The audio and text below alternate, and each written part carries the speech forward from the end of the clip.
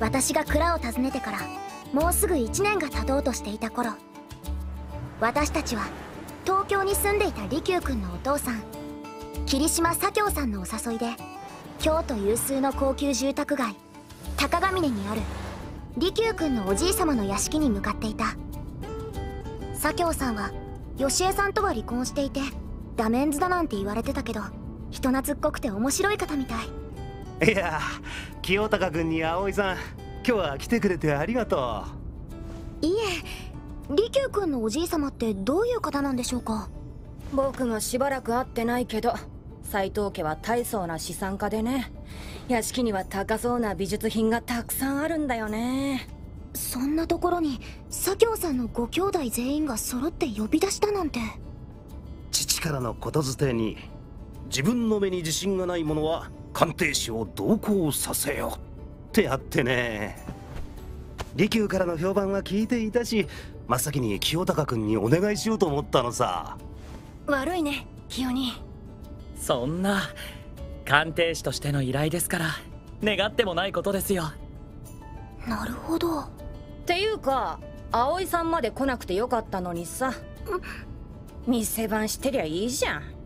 確かに一族の集まりって感じですし。良いものを見るというのはそれだけで目を養うことになります。きっと葵さんにとっても勉強になるはずですよ。良いもの？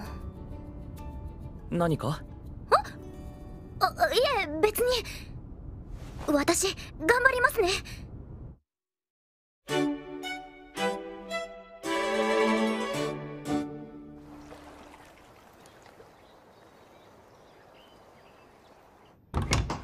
こちらへどうぞ。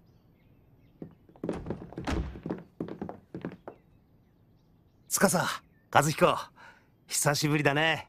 いや兄さん。お久しぶりです。ご兄弟って聞いてたけど3人とも全然似てないよな。ええ全く似ていませんね。ホームズさん？どうせごまかせないからね。みんな母親が違うそうだよ。え？なるほど今日の集まりに何か関係がありそうですが。あら清高じゃない。恵子さん。お久しぶりです。帰国されていたんですね。ええあなたに会えて嬉しいわ。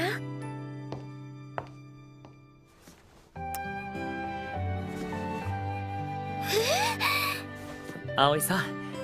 彼女は藤原恵子さんと言いましてニューヨークの美術館でキュレーターをされているんですキュレーター？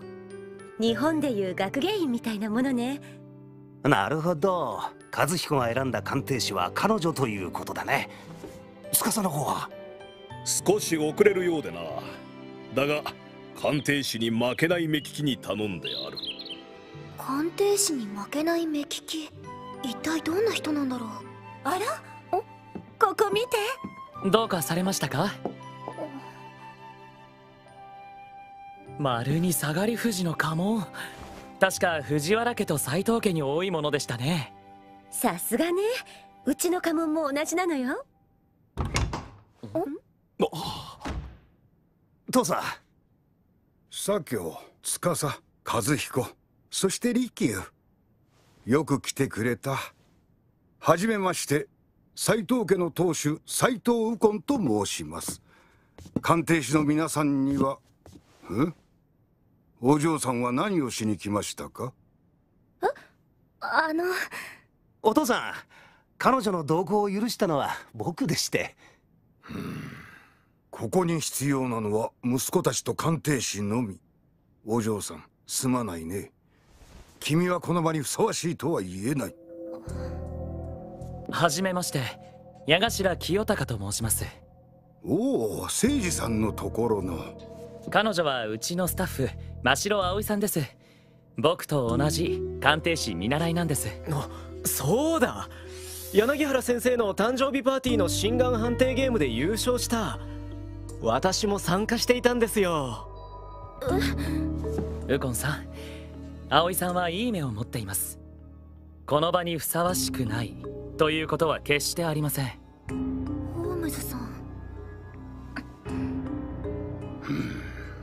それでは葵さんあなたを一つ試させてもらいたい。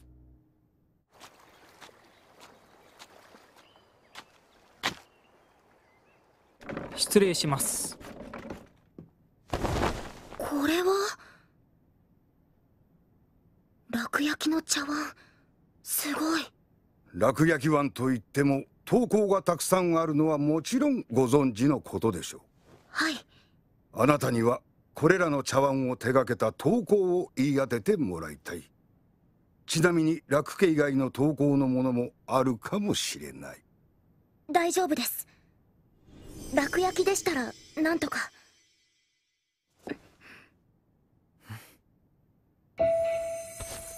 それでは始めさせていただきます。こちらの2点は楽家九代目両乳の茶碗だと思います。こちらは4代目一乳14代目各乳そして15代目吉左衛門。最後の1点は今も随一の名工と言われている三代目導入。うん違う。すみません。訂正します。本阿弥光悦ではないでしょうか。あのダメでしたか？すみません。すぐに帰り支度を。素晴らしい。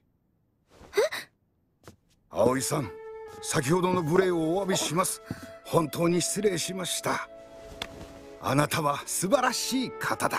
そそんなホームズさんに教えてもらったことですし最後は間違えそうになりました。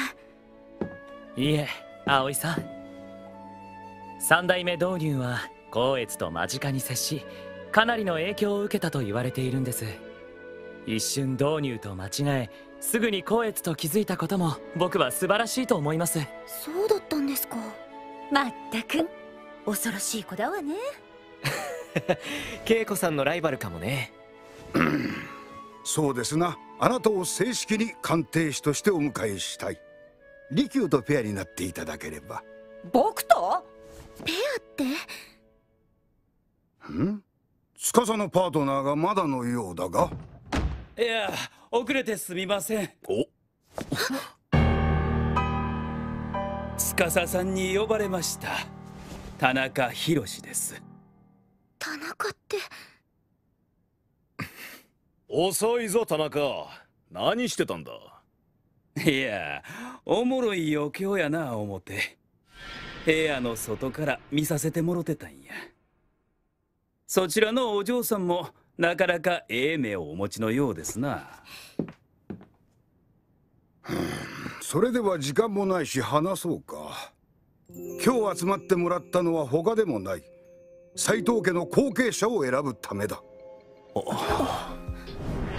若くして妻に先立たれたわしは武士である斎藤家の家系を絶やさぬため異なる女性にお前たち兄弟を産ませ養育させた。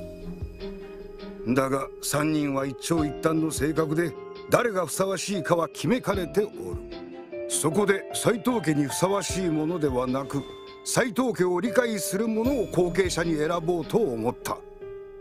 うちの屋敷には様々な宝がある。その中で斎藤家にとって一番の宝を見極められた者を後継者とする。ただし鑑定士は必要以上のことは教えぬようあくまで答えは息子たち自身が出すように。以上がわしからの条件だ。答えは午後7時に聞きたいと思う。それでは始めてくれ。午後は斎藤家にある宝を鑑定して回ることになり1階の和室の迫力を感じる松の水墨画の襖へ。ホームズさんが気にしていたようだけどそれは無名の絵師のものらしくて。他にも素晴らしい屏風や壺があった。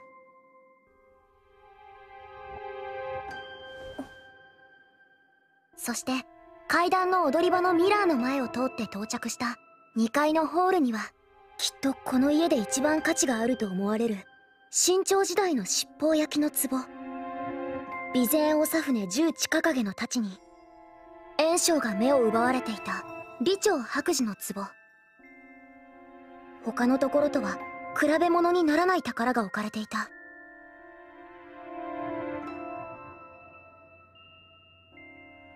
みんなあのホールのものが斎藤家の宝だと思っていたに違いないよね。うんでも難しいな。葵さんだったわよね。お疲れかしら。お隣いい？どうぞあなたの鑑定眼には驚かされたわ。その若さですごいのね。いえ。ホームズさんに教えてもらったおかげでして。ふーん。あの清高にね。あのよくご存知なんですか？お。数年の付き合いかしら。誠司さんとニューヨークに来た時が初対面ですぐに意気投合してね。うちに泊まりにも来たのよ。と泊まり？ええ。あの時の清高ったら部屋に来た後はほとんど寝ずにね。ごめんなさい。私利休君のところに行かないと。あ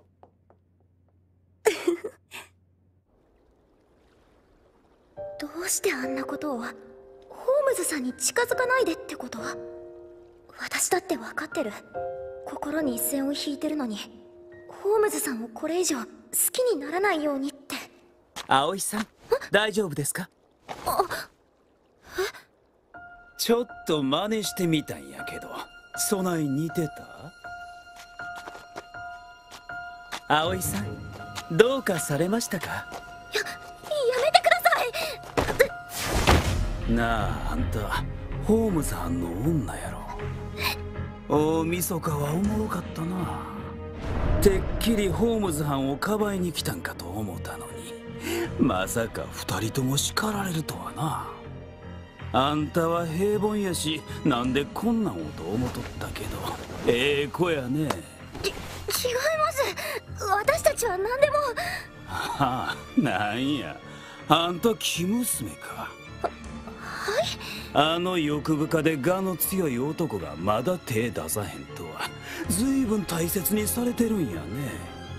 あんたももったいつけすぎなんちゃう？そのうち捨てられるで。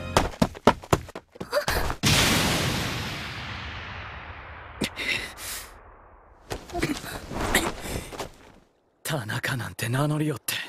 おお子はほんまに乱暴な子やなあなたがあまりに失礼すぎてつい足が滑りました。ホームズさん。滑りすぎやろ。彼女のこととなると切れ味も増すんやな。何か勘違いされているようですが僕は葵さんとお付き合いしてませんよ。あなたの言う通り僕は欲深で我の強い男ですから。なるほど。確かにそうやな。おい田中!勝手に消えてんじゃねえよほんなら呼ばれたんで失礼するわ。葵さん大丈夫ですか？何かひどいことはされてないですか？だ大丈夫です。失礼なことを言われただけですから。本当に考えられないくらい失礼な男ですね。でも炎章さんの言うことは一理ありますよね。一理とは？実は京都に引っ越す前に私がもったいつけたことで前の彼に振られてしまったかもしれないんです。好きだったのに断るにしてもどうしてあんな態度をとってしまったんだろうってずっと思ってて。それは違います。葵さんは何も悪くないです。人間関係の全ては縁でこればかりはどうしようもないことだと思うんです。もうそんなことでご自分を責めたりしないでください。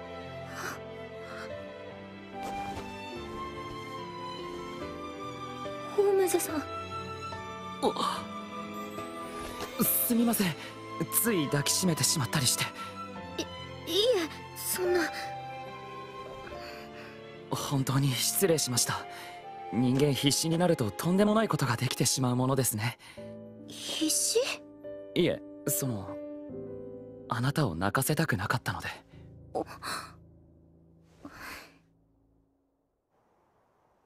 では答えを聞かせてもらおうか。ま僕は辞退するからいいけどね。和彦は七宝焼きの壺か。はい。この屋敷の中で一番価値のあるものだと思ったからです。そして司は刀か？はい。あの刀は武士としての斎藤家の誇りなのではと。左京は白紙。どういうことだ？踊り場にあった鏡。あの鏡を見て気づいたんです。そこに映る私たち自身が斎藤家の宝なのではと。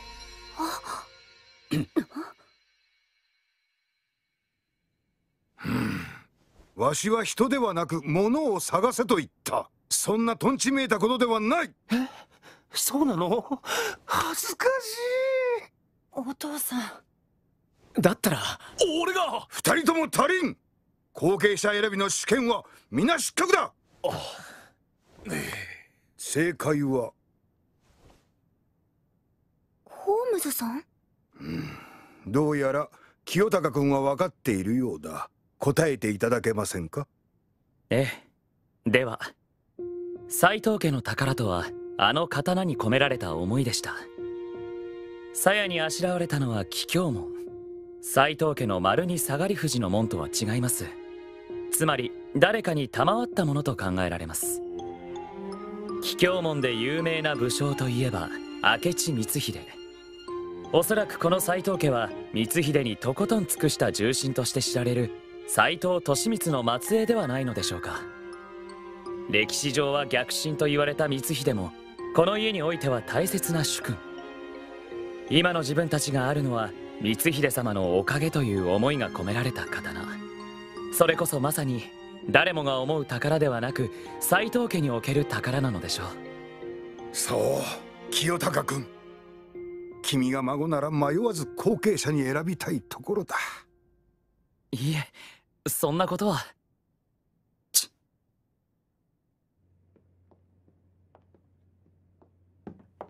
葵さん。今日はありがとう。ちょっと意地悪してごめんね。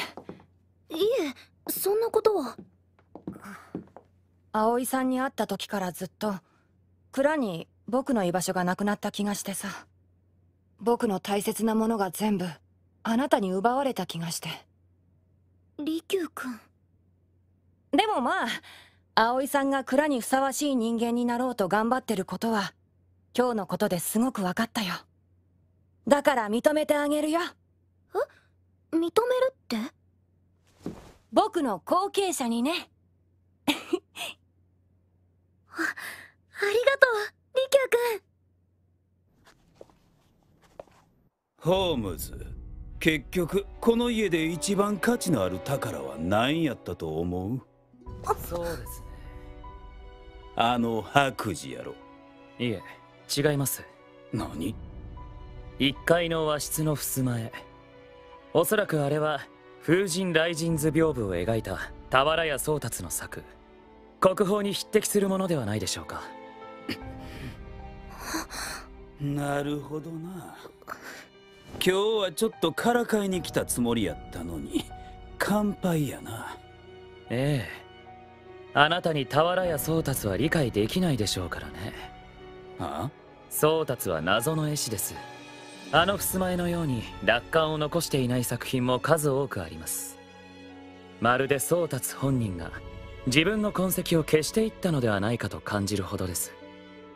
それに対してあんたは日陰で贋作を手掛けながらもその実自分を認めてもらいたいとくすぶっている真逆の人間。理解できるはずないわ。相変わらずやな。そういうとこほんまにムカつくわ。つくづく嫌いやで。僕もです。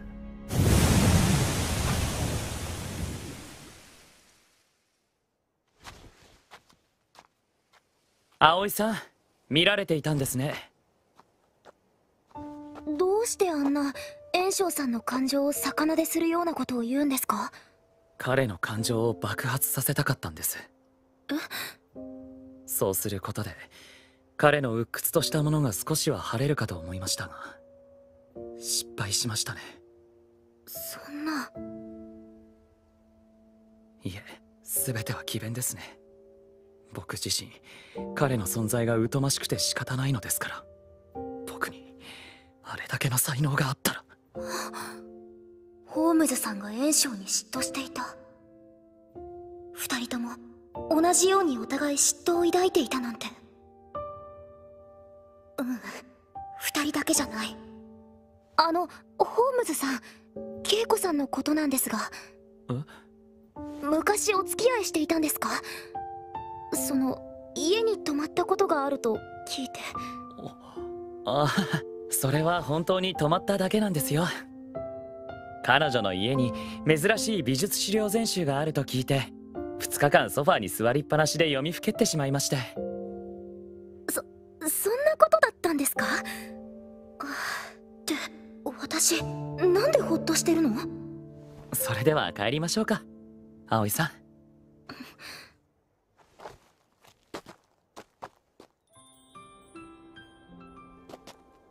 春の香りがしますね。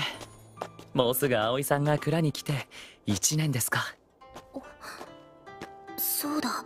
あれから1年。ホームズさんに出会って悲しみから立ち直って心に一線を引いて思いは秘めておこうって決めたけど私はずっと偽り続けてきた。傷つくのが怖いからごまかして目を背けて自分の心に嘘をついてきたんだ。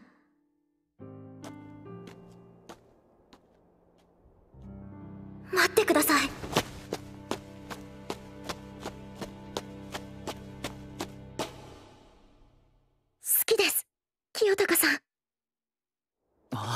葵さん。今夜は月がとても綺麗ですね。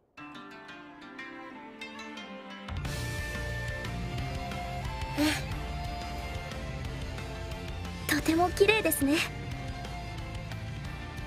今はまだ心の奥底にこの気持ちを留めておこう。清高さんと一緒に綺麗なものをめでる時を大切にしたいから。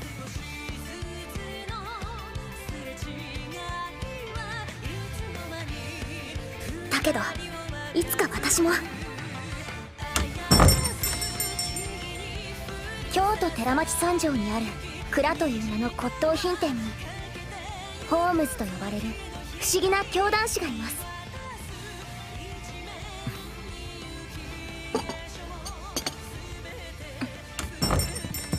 ホームズ助けてくれよ。友達の歌舞伎役者が事件に巻き込まれてさ僕は探偵ではありませんよ。鑑定士ですから。頼む！そこをなんとか！え？あ行きましょうホームズさん。え？ちょ待てって！これはそんなホームズこと矢頭清隆さんと私真城葵の。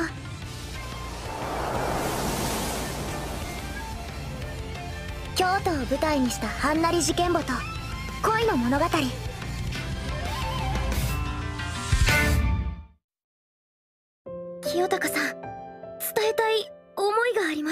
葵さん僕から言わせてや。京都寺町三条のホームズ。ホームズさんっていけずですね。